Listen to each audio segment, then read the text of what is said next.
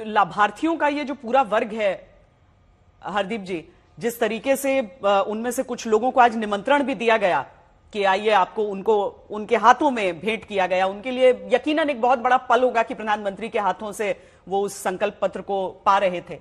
ये बड़ी मैसेजिंग है, बाकी के देश और देशवासियों के लिए भी।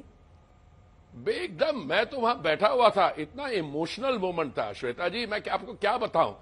एक लाभार्थी है बेचारा वो मुश्किल से कोविड महामारी के दौरान अपना जीवन जी पाता। मुश्किल से।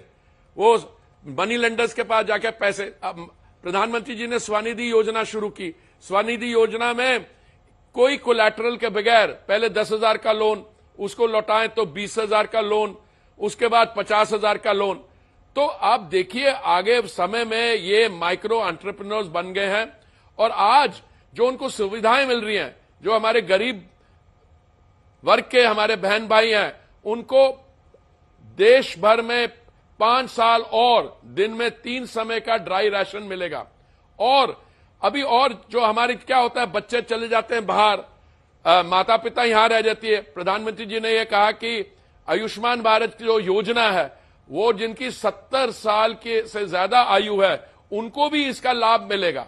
और बाकी देखिए, वो मुद्रा योजना में लोन कितना होता था? दस लाख का होता था। प्रधानमंत्री जी ने कहा, हमारे भारतीय जनता पार्टी का संकल्प है, दस लाख को बीस लाख कर देंगे। देखिए, आप सारा देखिए, शुरू से युवा के लिए क्या किया, महिलाओं के लिए क्या, तीन लाख, तीन करोड़ लखपति दीदी।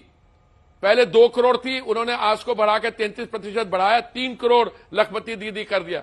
आप, उन्होंने सोशल इंफ्रास्ट्रक्चर की बात कही फ़िज़िकल इंफ्रास्ट्रक्चर की बात कही, सोशल इंफ्रास्ट्रक्चर में क्या? जो हमारे एजुकेशनल इंस्टीट्यूशंस हैं, वो दबा के बढ़ेंगे। Engineering colleges, medical colleges, physical infrastructure की बात की, टूरिज़्म की बात की, जिसमें रोज़गार बढ़ेगा।